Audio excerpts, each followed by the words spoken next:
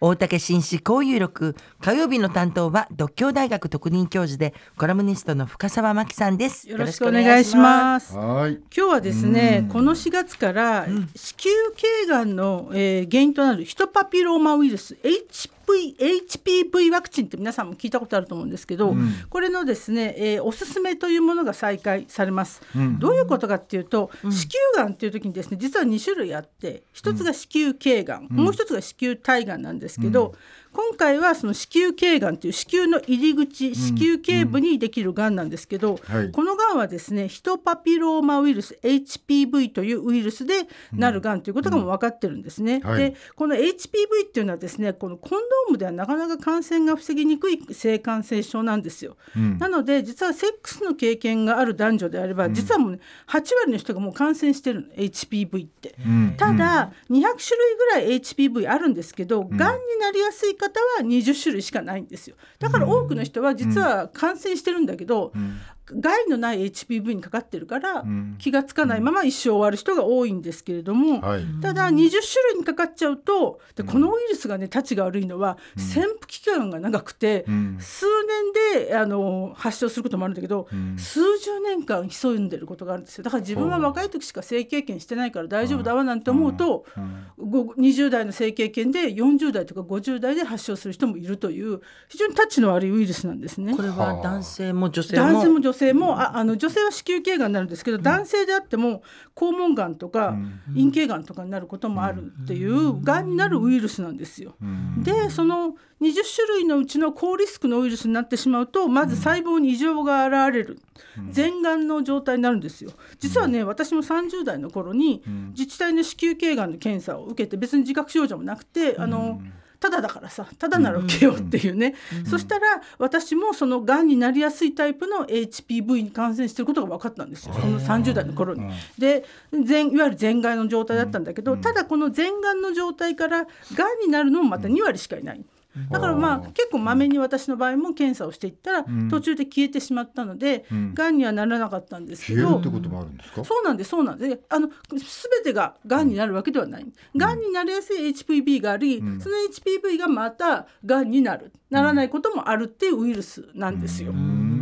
だからまあ以降も私もずっと検査を受けてるんですけど、まあ、とにかくですね自治体で20歳以上で無料、あるいは数千円ぐらいで受けられるんですよね。で私はそれを受けていたから本当によくってあこういうこともあるんだなと思ったんですけれども、ただ日本って、とにかく世界の中でも女性が婦人科に行かない。要するにあの台の上で足をね広げて帰るみたいな格好をするのが嫌だ抵抗があるって人がどうしても多くて世界に比べても圧倒的に検診の受診率が低いんですよ。まあ、乳がんもそうですね。痛くて怖いとかいう理由で、まあ、頸がんも確かに、ね、入り口にこうちょっと引っかいたりして、まあ、痛くないとはとちょっと言えないような若干怖めの検査なのでみんな受けないんですけど絶対受けた方がいい、なぜなら20代から40代の若い女性がすごくなるがんなんですよね。あのあの三原純子さんが議員になられたのも、ご自身が子宮頸がんになられて、子宮を取られて、えご自身が子供が望めなかったから、でも私もね三原純子さんがそう,、そういう理由で議員になられた時にでもすぐに HPV のワクチンなんてあのまた再開するだろうと思ったらすごい時間がかかってしまったんですけど、まあえまあ、そういうことがあるんですが、まあ、子宮頸がんになると、まあ、ごく初期であればこう子宮の頸部だけを摘出する手術もあってその場合はね妊娠もできるんですけどただ早産や流産が起きやすいですし、がんが進めばその三原純子さんみたいに子宮を三原純子さん全摘されたかちょっと知らないんですけれども、まあちょっと妊娠が望めないような状況になられたそうなんですね。はいで年間1万人以上が実は子宮頸がんになってます。しかも、結構死亡率が高いがんで、3000人近くが実は毎年亡くなっていてこれ先進国の中ではちょっと考えられないぐらいですね、高い死亡率のがんなんですね。はい。で子宮頸がんってワクチンがある現在唯一のがんなんです。あんまりがんってねワクチンで防げるイメージないですけど、これって性感染症なので、そのウイルスをまあ100%もちろん防げないですけれども、あの特にさっきも言ったその高リスクの HPV に、えーなる感染を防ぐタイプのワクチンがあって、まあ、大体6からから7割は、まあ、防げるよって言われてるんですが、ただこのワクチンってね3回打たなきゃいけなくて、自費で打つと安いタイプでもね5万円ぐらいかかっちゃう。そうなんですね。三回全部で？そう全部。3回打てば5万円かかっちゃう。1万5,000円かける3回みたいな感じではい。5万円かかるんですけど、うん。でも日本では実は2013年ほぼ10年前から小6から高1つまり性経験をする前に打っておく方が効果が高いので、その女子を無料にしますよと。うん。しかも無料の上にちゃんとハガキが届いて、うん。各自治体からね、うん。うん。ぜひ受けてくださいっていうことが来たんですけれども、はい。まあ、皆さんも覚えてらっしゃるかもしれませんけどその2013年にたくさんの、ね、小6から高1の女性が接種をしたら、まあ、体調不良になる方、うん。副反応の方がとても出て、まあ、ちょっとメディアもかなり大きく取り上げてしまって、うん。たった2ヶ月でですねそのお知らせを送るのを実はやめてしまったということがあるんですね。うん。ただこのワクチンって本当に効果が大きくて、うん世界100カ国以上でうん。もう公費で打たれてますし、うん。いろいろなあの欧米なんかの調査では子宮頸がんになる人を8割から9割特に若い時に、10 12歳とかね13歳の時に性経験を持つ前に打てば8割を減らせる。性経験を持ってからもその後のあの感染が防げますから、うん。どんな時でも打った方がいいんですけどでもまあ、ある程度ね早い段階で打てばいいので,、うん。で日本でもやっぱりあのおすすめをね接種のおすすめを無料のままは無料のままだったんですけど、おすすめをもう一回再開した方がいいんじゃないかっていうことで、はい。やっぱただ副反応も心配ですから、ん。副反応について調査を進めた結果、はい。やはりその小6から高1ぐらいの女子とか男子とかっていうのは、いろんな多様な症状が接種をしてもしなくても出やすいとうん。いうことがまあ分かってきて、うんまああのもちろん副反応が悪くなった人もいるけれども副反応じゃなくていろんな症状が出た人もいるし、ということで、えーメリットの方が、えーつまりなくなりやすいがんなのでウイルス大きいと。大きいよということで、こまあの今おっしゃった副反応っていうのはどんなことが起こる？まあそのしびれが出たりとかだるいとか、まあ、コロナのワクチンとかとも、まあ、似てるかもしれないんですけれども、はいぱりこうなかなか日常生活が送れないって方がいらっしゃるのもどうやら事実のようなんですね。うんだからそういう方はもちろん無視してはいけないんですけれども、ただ年間3,000人近くの方がしかもお若い方がね亡くなってしまうがんで、それをかなりの確率でそれはなん防げる。かあの自分はちょっとアレルギーがあるからこういうの打たない方がいいなとかっていうようなことは分かるんですか？それは分かんないですそれはねなかなか難しいんですよね。あのなかなかやっぱりワクチンって打ってから自分が合わないとかっていうことがある。だから一回まあインフルとかでちょっとね、あのアナフィラキシー出たからちょっと怖いとか、はい。でもそれは成分によってまた違うわけですよね。そのワクチンに何が入っていて合わないかとかってこともあるので、ただまあですね、一応その2013年以降今まで、ん。あの小6から高1の女性っていうのは無料接種自体はできてたんですね、ずっと。ただ、お知らせが届かなかったので、自分がその5万円のその効果の高いワクチンの対象者であることを知らない人がいて、その人がね97年、えー4月2日生まれから2006年4月1日生まれの人なんですね。えー、とだから17歳から25歳までの人も、えー今年4月から3年間無料で接種できます。5万円のワクチンなのででもちろんね、今小6から高1の人はもちろん無料ですし、多分皆さんのそういうお子さんがいるお宅にはもうね、自治体から封書なりえーが多分ワクチン接種のお知らせっていうのが来てると思うんですね。さらにあの無料接種の期間を逃して自腹で打った人にも厚労省がそのちゃんと証明があれば支払ってくれる、まあ、ちょっと本当高いワクチンなのでなかなかね自費では打てない。ただね聞いてて思いましたけど最初から16歳から25歳までってな大きく最初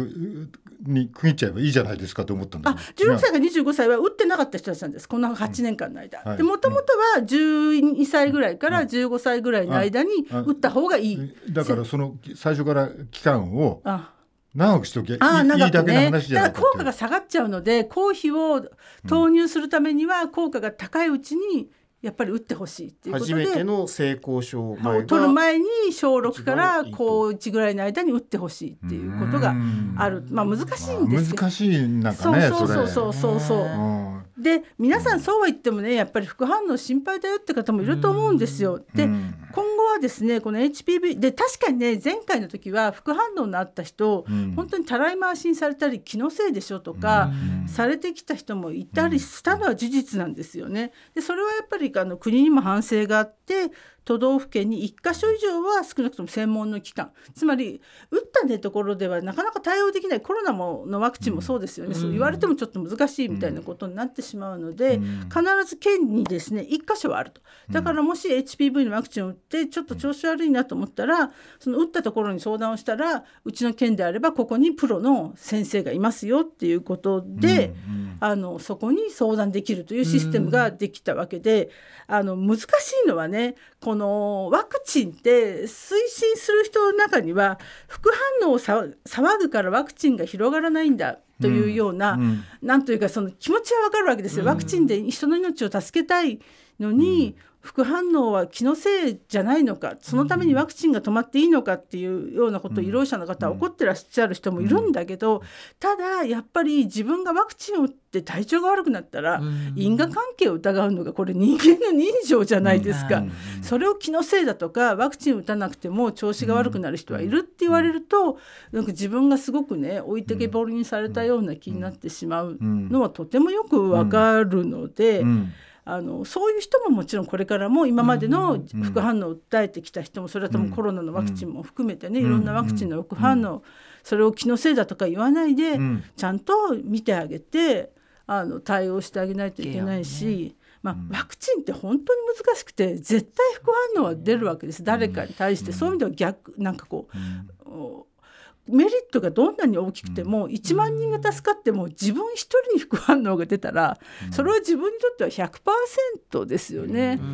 だから0.1%の人にだけ良くないことが起こってなんかね70%の人にいいですとか例えばですよってことがたとえあっても自分がね辛ければそれはもちろん良くないので。この小学校6年生から中高校1年生はい。のあれですよ、それであの家族会議でやってましたテレビでも。お母あそうですよね。やっぱり自分の意思ではねなかなかできないワクチンを打ってれるって年頃じゃないから、そうなんですよ。でもお母さ決められない。んと話いろいろして、その彼女は受けてらっしゃったんですけど、やっぱすごい親御さんとしてもねなかなか怖いものがありますよね。だからコロナのワクチンとかもそうだと思うんですよね。まあ、しかもね確かにこのワクチンって100%さっきも言った HPV のうち、あのワクチンで防げないタイプもあるんですよ。でしかもさっきも言ったように数十年潜伏するので、ワクチンももちろん打った方がいいんだけどその後20歳になってからもはい。検診をねあの本当に無料とか数千円で済むので,、で本当に日本って婦人科行かないのでこれを機に婦人科に行く習慣をつけて。あの防げるがんなのでね。で早くに分かれば、いろんな手が打てるのであんまり自覚症状がないのでもう自覚症状出てからだと本当に間に合わなかったりして、命を落とすあるいはその子供を望めなくなるという、かなり深刻ながんであることは事実です。だからワクチンをね絶対受け受けた方が打った方がいいとは私も思わないけれども、そのデメリットは必ずあるわけで、どちらをね取るかっていうことは、打ってみないと分からないから本当に怖い家系ではあるんですけれども、あのまあその数値的にはメリットの方が大きいと。ただ、デメリットがあった時にどう対処するかってことも考えなければいけない。あのまあ、厚労省のサイト、まあ、厚労省のサイトなんか信用できないと思うかもしれないけれども、でもまあ厚労省のサイトにはかなりいろんなデータも出てますし、なかなか本当このこのね問題ってみんなが一つになるのは難しいテーマではあるのですが、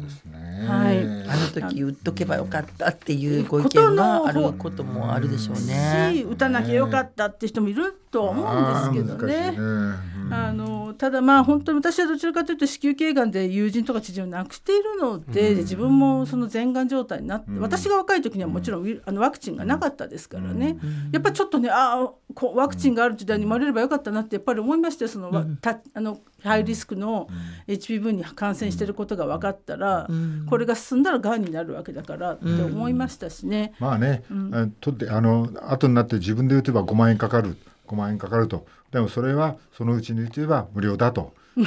うことだけは確かなのね。まあまあそうです。だからまあお金だけでね、もちろんお金は。打つは苦人じゃないけど、いやでも5万円って大きいからただまあ5万円大きいからね。いやそうなんですよ。自費でね打つことはなかなか難しいと思うので、それをやっぱりそれだけ効果があるから国もねすごい税金を使うわけですから。まあね私は、まあでもキャンペーンとしてなんか今さ、期間逆に長くね、あの小学何年からって言ってる間にって言ったけどさ、まあ、もしやるなら国がさ、まあ、この高校1年になった年にね、みんな一斉に打ちますよみたいなことの方が逆に広まるかもしれない。まあそうですね。今はね、中1の子が多いみたいです、中1の時に3回接種をすることが多いみたいですけれども、あのまあ本当に若い方がねがん。で亡くなるのは本当に悲しいことなので,、そうですよね。このこの方法は一つあるよということを覚えていただければと思います。はい。大竹紳士交友録今日の担当は深澤真紀さんでした。ありがとうございました。